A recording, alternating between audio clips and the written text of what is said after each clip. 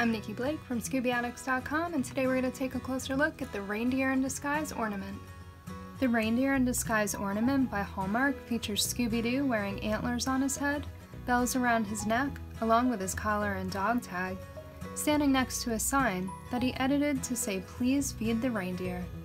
This Hallmark keepsake ornament stands 3.5 inches tall and is copyright 2008. Scooby is battery operated, and when you press the button on the base of the ornament, he says five different sayings. Scooby snacks, rupoy, rupoy, rupoy. Root cake, rup rope. Do I smell Christmas rookies? Reindeers are all Scooby snacks. The ornament, designed by Hallmark keepsake artist Anita Marra Rogers, comes in a box that has a picture of the ornament on one side and information about the ornament on the back.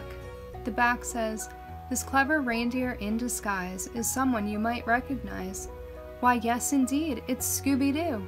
He loves a Christmas snack, don't you? The ornament was made in China. That's it for this closer look at the reindeer in disguise ornament.